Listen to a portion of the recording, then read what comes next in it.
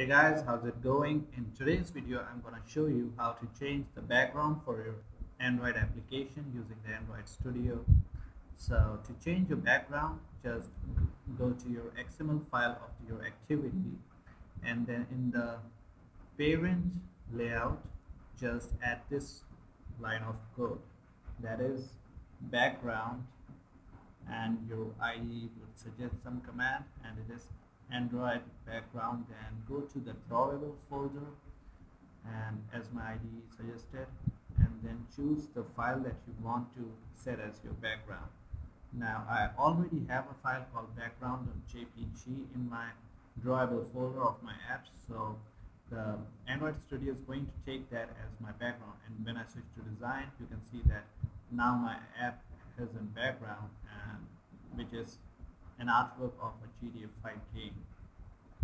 Now, how to, in case you're wondering how to do I add this image to the drawable folder, then here's how to do it. It's pretty easy. Just go to your app, in this case, which is my application. It would be stored somewhere like Android Studio projects, wherever your Android Studio projects are stored, or in case you are using some IDE, then I don't know where they are stored, but you would probably be able to find that pretty easily. Then just go to the app folder, then to the SRC, then to the main, then to the res, then to the drawable. This is your drawable folder that you can access from within your app and where you can store any file that you want to be displayed in your app. So in this case, I already pasted a background JPG file here and then I use this command to draw this background and to be used as. Now this method, though it seems pretty easy, is pretty flawed. Now why do I say that? Because as soon as you change your orientation to landscape, then you can see since my image was already kind of portrait oriented, so as soon as I switch to the landscape mode, the image gets totally stretched and to goes totally out of aspect ratio and which is not quite good to look at. So what's the solution? The solution is to not use this command and I rather suggest just delete it and never use it to set your background.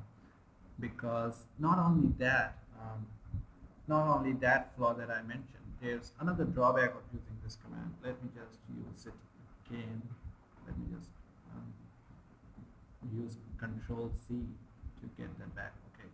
So as you can see that I have my background right now but if I try to paste some let's say some text over here and you can see that the text is quite not visible because of the strange background that I picked. So um, if you don't use this command that is the Android background and instead use this alternative to set the background to your images you can find a way around both of the flaws that I mentioned and that is to use an image um, sorry that is to use an image view as your background. Let me just delete this text view right here then go to your image view add that and then go to and here just enter fill parent then the height should also fill the parent. And in the source of your image view right here just enter that same command to draw the fold um, background from the drawable folder. Okay so that should do the trick. Now as you can notice that there is some space right here and right here. So to avoid that just go to this command called scale type which is right above the SRC and then choose center crop. Now center crop is the best way to adjust your background because what it does is it maintains the aspect ratio and just uses the part of the image that can be displayed on the device uh, according to the device's resolution. So in case uh, the device has a pretty good resolution then it will be able to display more part of the picture. However, if a device has a small resolution, then the image will be just uh, uh, cropped or maybe let's just say only he will be able to see only some zoomed in part of the picture.